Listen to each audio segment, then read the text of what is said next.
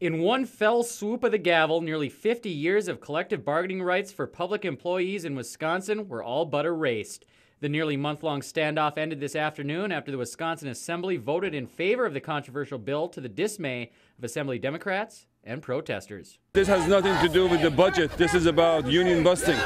And uh, as you can see now, they have separated it and uh, they're taking independent action on the collective bargaining rights as opposed to the budget of Wisconsin.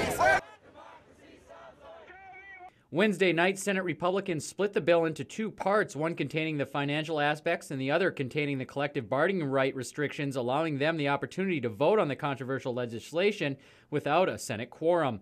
On Thursday, Wisconsin Governor Scott Walker said this wasn't a vote on rights, but rather a vote on finances. Federal government employees, for the most part, do not have collective bargaining for wages and for benefits.